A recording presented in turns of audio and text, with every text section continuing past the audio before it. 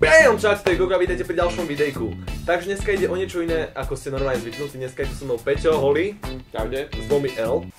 A ide tu v podstate o to, že ho chcem podporiť v súťaži, ktorá práve prebieha a vďaka tomu sa môžeme dostať na Severný pól a ako bonus si práve pripravil to, že mi dal limitova- limitovanú edíciu jednej vodky a to, že zapíchne do Severného pólu vlajku Gogomen TV a odfotí to.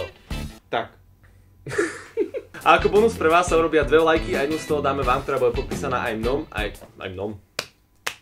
Nom, nom, nom. Ako bonus pre vás bude urobená aj druhá vlajka, ktorú podpíšeme obidvaja a potom vám ju dáme, niekoho vylosujeme. Čiže aj on a ja.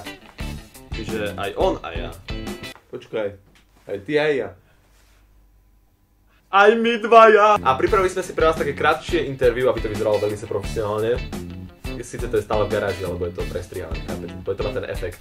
Ale má strašne peknú garáž.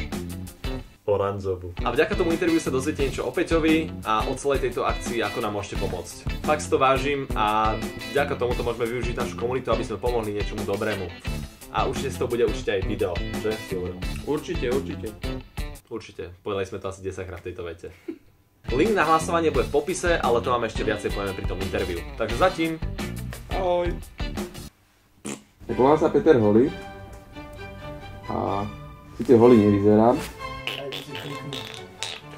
Takže Peťo, kto si a čo by vlastne mali o tebe naši oranžoví ľudia vedieť? Som obyčajný človek s obyčajnými zábavkami, čiže driapem sa po tých skalách nejako.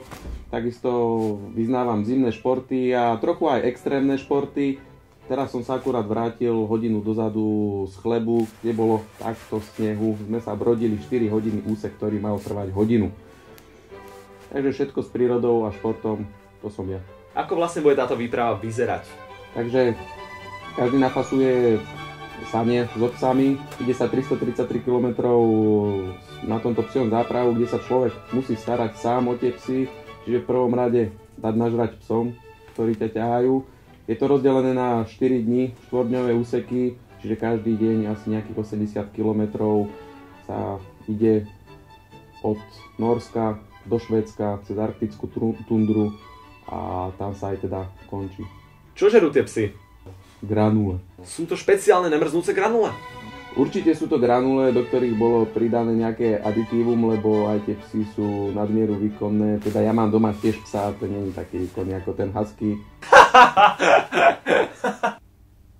To je vlastne naša konkurencia. Kto by to mohol vyhrať okrem teba? Naša konkurencia je slečna z Estónska, ktorá má vyštudovanú žurnalistiku a má konexie na tie všetky médiá, médiá, noviny, televízia, neviem kde, kde už všade teda bola a hľadá nás neporazí nejaké Estónsko, či? Venuješ sa tomu profesionálne? Venujem sa tomu maximálne profesionálne.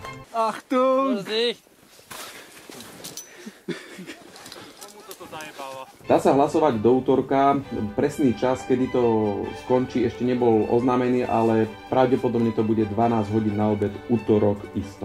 Takže to bolo naše krátke interview, dúfam, že sme vám to vysvetlili a dúfam, že som vám nezabral moc času. Tak sa seje mak. A... Dobre, ďakujem, že ste si to pozreli a uvidíme sa na budúce, možno už na Severnom póle. Tak zatím. Ahojte. Waša!